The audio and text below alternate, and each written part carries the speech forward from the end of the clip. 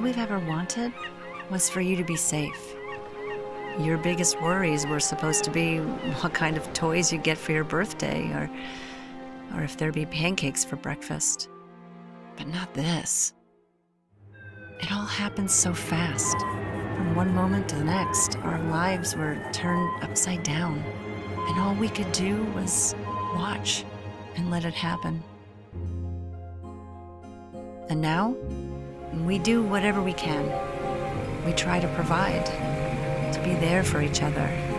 We try to hold on to a normal life, to keep going, to heal.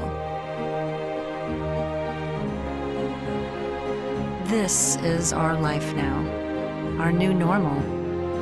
And it's hard, but, but that's okay, because if it were easy, it wouldn't be worth fighting end, no matter how big the things in front of us seem to be, we can't lose focus of what really matters, of what really is at stake, and what we might lose